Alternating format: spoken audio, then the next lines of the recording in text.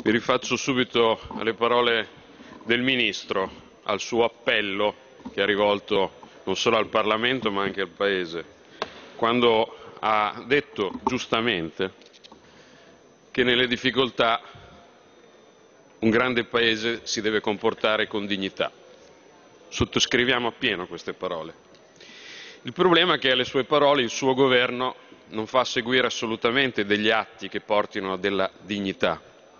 perché un Paese che fa della dignità e della serietà i rapporti sul piano internazionale non ci mette dei giorni o delle settimane a farsi ridare due cadaveri di due poveri uomini che in maniera straziante sono trattenuti, non si capisce bene il perché, da un'autorità alla quale voi non riuscite minimamente a farvi ascoltare. Questa non è dignità. Non è dignità nemmeno prendere ordini rispetto a decisioni prese da paesi terzi.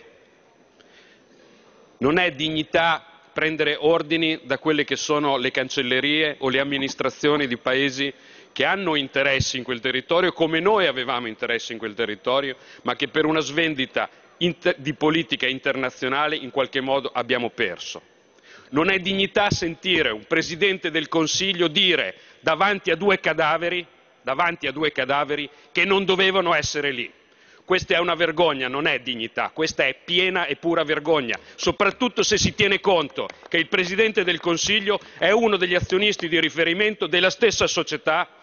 che aveva dato il contratto alla società Bonatti per la quale queste persone lavoravano. Quindi questa non è dignità, questo è puro cialtronismo.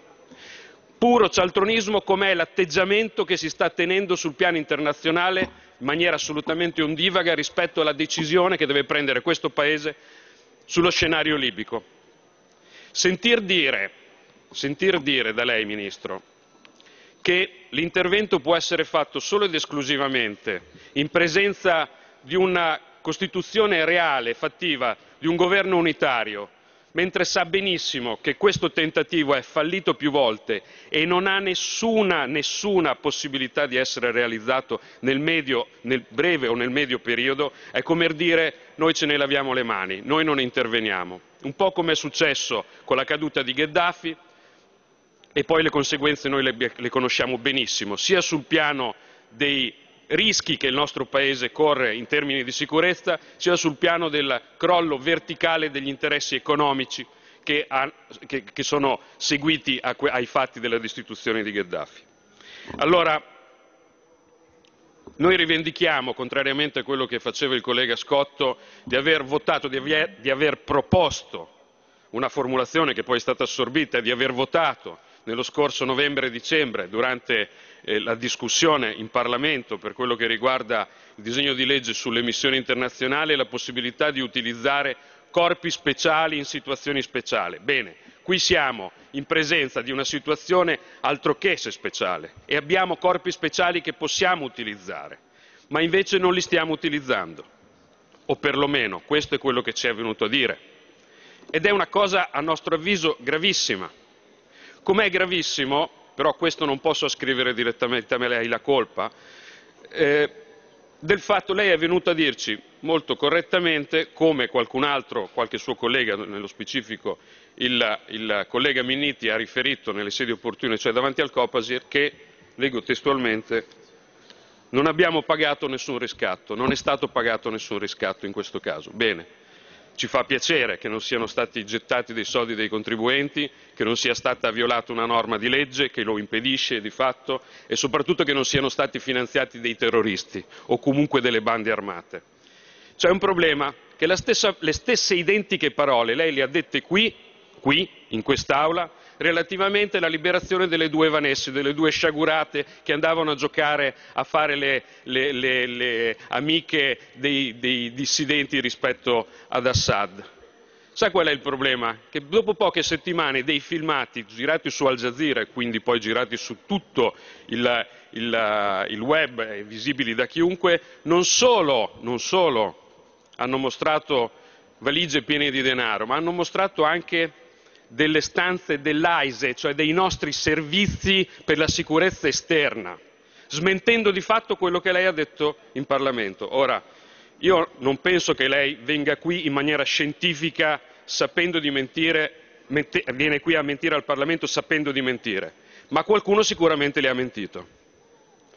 E quindi di questo, oltre che al Copasir, che svolge già il suo ruolo, e lei ha ricordato correttamente che il mio collega Stucchi oggi è intervenuto e quindi è molto irrituale, ma dà anche la misura della preoccupazione che c'è nelle istituzioni rispetto allo scenario libico, è intervenuto al Senato in risposta alle sue comunicazioni. Penso che sia arrivato anche il momento che lei ci dica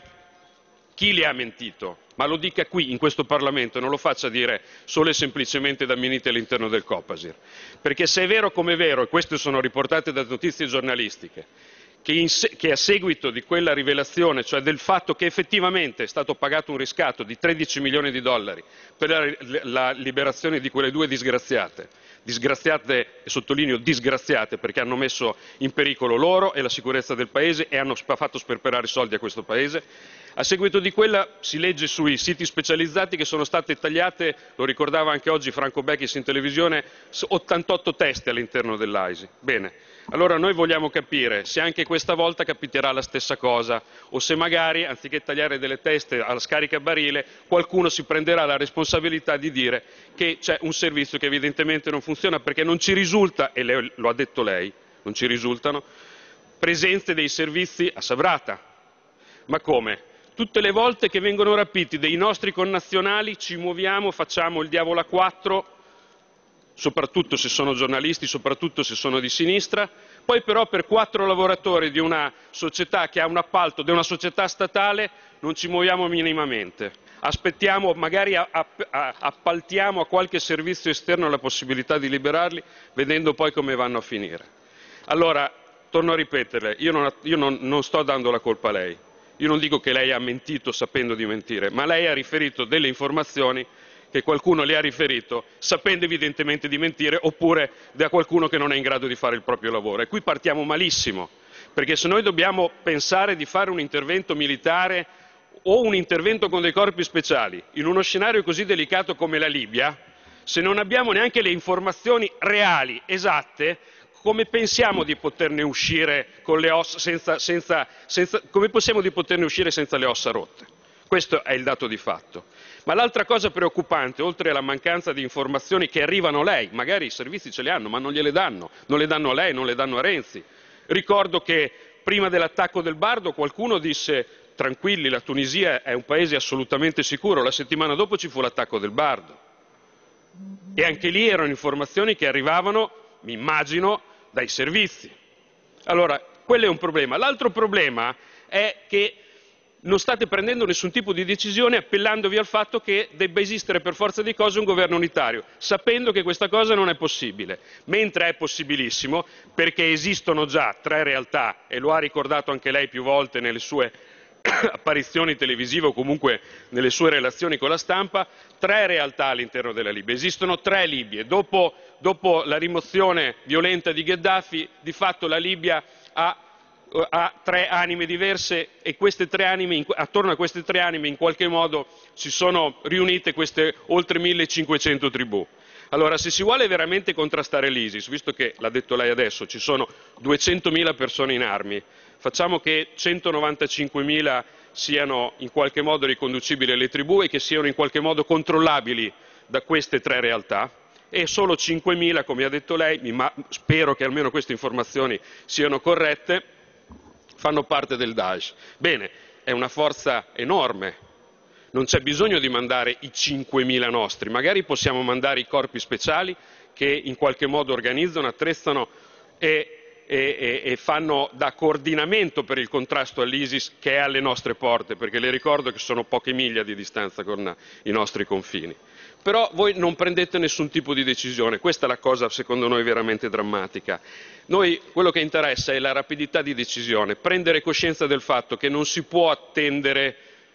attendere l'ordine di un paese terzo per fare i nostri interessi, non si può attendere un qualcosa che si sa benissimo che non si realizzerà mai, cioè il governo unitario, perlomeno non nel breve periodo, prendere decisioni rapide perché altrimenti, vedete, già avete sottovalutato i rischi. Se vogliamo dare la migliore risposta possibile al rischio che l'ISIS si espanda nei nostri territori, e chiudo, è quello di utilizzare quello strumento che abbiamo insieme in maniera assolutamente responsabile inserito nel decreto legge sulle missioni internazionali è iniziare a mandare i corpi speciali, trattando con tutte e tre le parti che non riusciranno mai a mettersi d'accordo in questo momento, perché l'unica cosa giusta che ha detto Renzi, ma forse si è sbagliato perché evidentemente non ha bene chiaro il quadro, è che in Libia il tempo sta per scadere. Sta per scadere, lo state facendo scadere voi perché siete assolutamente immobili, come siete assolutamente, lo avete dimostrato, irrilevanti sul piano internazionale.